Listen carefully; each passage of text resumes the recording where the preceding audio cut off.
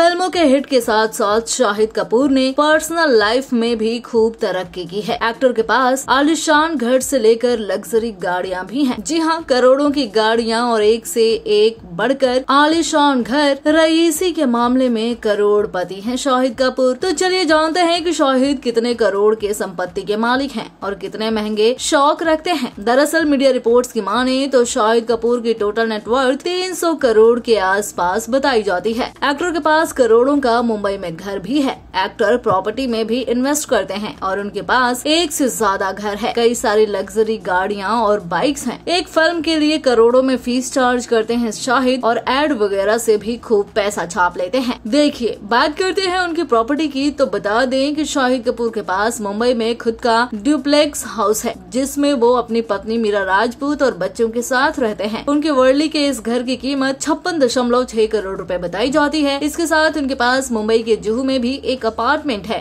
शाहिद के जुहू वाले अपार्टमेंट की कीमत पैंतीस करोड़ रुपए बताई जाती है। शाहिद के घर में स्विमिंग पूल से लेकर उनकी पसंद की हर चीज़ को शामिल किया गया है। इसके अलावा वर्सोवा में भी शाहिद कपूर के पास एक घर है, जिसे साल 2016 में कथित तौर पर 20 करोड़ रुपए में खरीदा गया था और अंधेरी में भी एक घर है, जिसकी कीमत तीन करोड़ रुपए बताई जाती है। मुंबई के अलावा शाहिद ने साल 2014 में दिल्ली में लगभग छह करोड़ की प्रॉपर्टी खरीदी है। इतना ही नहीं एक्टर लग्जरी गाड़ियों के भी शौकीन है और एक्टर की हर गाड़ी की कीमत करोड़ों में बताई जाती है। शाहिद के पास Mercedes Benz A four hundred Porsche Cayenne G T S Mercedes Benz GL class और जेगुआर जैसी लग्जरी गाड़ियाँ हैं। इसके अलावा शाहिद बाइक का भी शौक रखते हैं। इस लिस्ट में एक करोड़ की कीमत वाली Yamaha M T zero one one point five crore रुपए, हार्ले डेविडसन फैट बॉय, तीन करोड़ रुपए की Mercedes Benz S four hundred शामिल है। इसके साथ शाहिद के बाइक कलेक्शन में बीस से तेईस लाख रूपए की हार्ले डेविडसन फैट बॉय और करीब ग्यारह लाख रूपए की Yamaha M T zero one भी है। उनके पास टुकाटी बाइक भी है, जिसकी कीमत बारह लाख रुपए है। एक्टर की फ़ीस की बात करें तो फ़िल्म तेरी बातों में ऐसा उलझा जिया। फ़िल्म के लिए उन्होंने 24 करोड़ रुपए लिए थे। पहले एक्टर की फ़ीस 35 से 40 करोड़ रुपए थी। लेकिन रंगून, बत्ती, गुल, मीटर चालू और जर्सी जैसी फ़िल्में फ्लॉप होने के बाद एक्टर ने अपनी फ़ीस घटा दी थी। मीडिया रिपोर्ट्स की माने तो शाहिद हर महीने तीन करोड़ कमा ही लेते हैं। एक्टर कई प्रोडक्ट्स को एंडोर्स भी करते हैं और एड भी करते हैं। बॉलीवुड की latest news gossip film reviews song reviews के लिए